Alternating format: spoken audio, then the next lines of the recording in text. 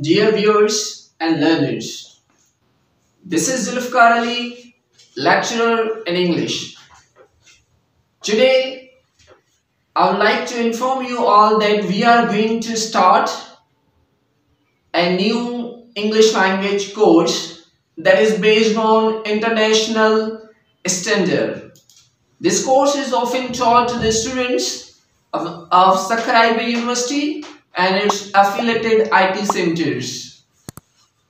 So this course is basically designed from international level standard that is CEFR.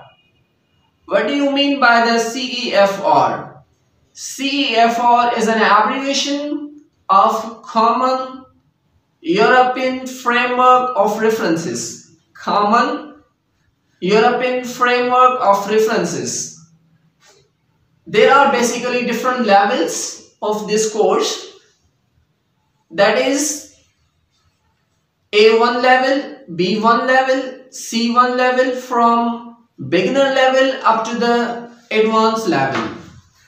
In this uh, level, we will be talking different speaking as well as writing skills.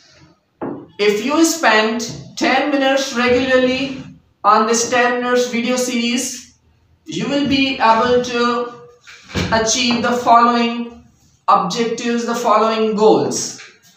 You will be able to achieve, you will be able to speak the immediate environment surrounding you. You will be able to speak more clearly with your peers in your classroom in your uh, surrounding environment and you will be also able to write in English language on different social media websites like Twitter, Instagram, Facebook, WhatsApp and your writing skills will be boosted. So I will recommend you all keep in touch with this video lecture series of 10 minutes 10 minutes English with Zulfiqar Sianch that is based on CEFR means Common European Framework of References.